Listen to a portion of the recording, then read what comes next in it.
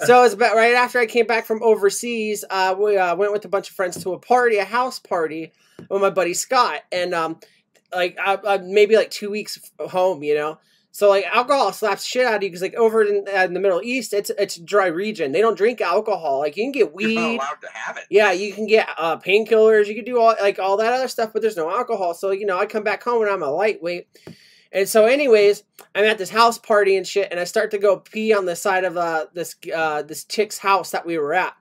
And um, my buddy that was there, his name was Corey, and he was like, "Hey man, fill up this tall can with piss." I'm like, "All right, you know, I'm all drunk, whatever. You can throw it at somebody, you know, whatever." So I go and I fill up this tall can, and the best part was it was a 211, so it's the same fucking flavor, I guess.